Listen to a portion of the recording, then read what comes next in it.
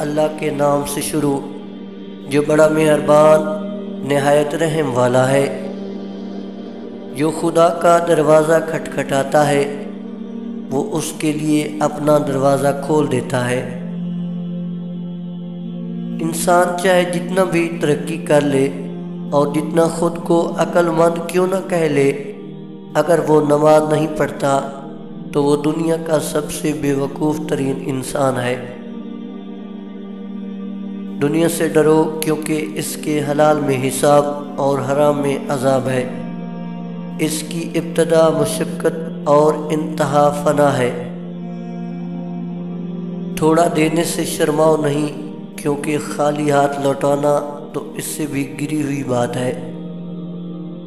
आखिरी ज़माने में सबसे कम चीज़ जो मिलेगी, वो काबिल एतमाद आदमी और हलाल पैसा है।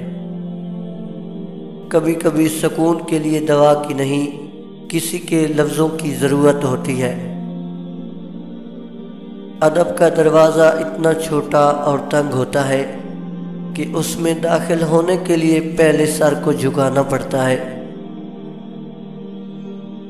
अल्लाह के साथ तहल्लुक तो ऐसा होना चाहिए कि आदमी अपने कमरे के अंदर पलंग के बाजू पर बैठा हो। उसके साथ बातें कर रहा हो और अपनी मुश्किलात बयान कर रहा हो।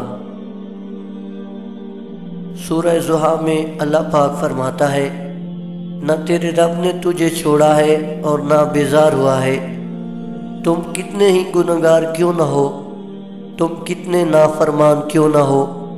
जब जब तुम उसे पुकारोगे, तब तब वो तुम्हारी पुकार का जवाब देगा।